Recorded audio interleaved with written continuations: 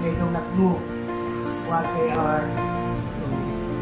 Kapatid, kung may nagkasala sa iyo ngayon, kung may gumawa ng kasalanan sa iyo, nasabi sa iyo ng Panginoon, hindi nila alam ang kanilang ginagawa.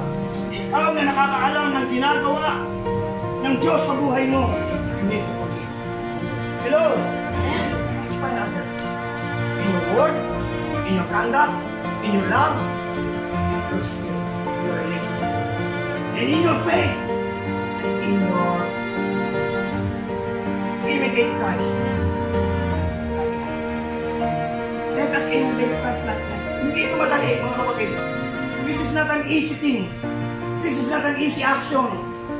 Ang gayahin ng buhay ni Kristo. But, as you grow, level by level, you will reach the point excel your life for God.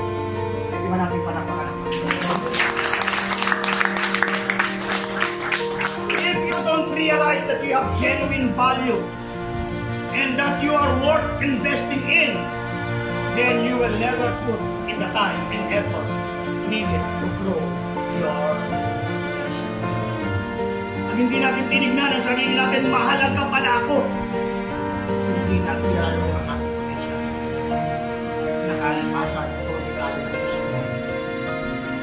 Every one of us has a gift. Hello? Lahat po may regalo. Hindi lang pare-pareho.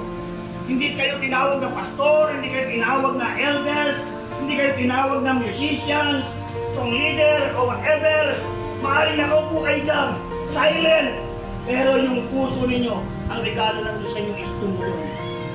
Ang regalo ng Diyos sa inyo ay mag-extend ng help, sumuporta. Kayo yung mga armor bearer. No, nag-encourage. And that is our gift. If you will not look that gift, you will not value yourselves. Hindi natin ito papahalagahan.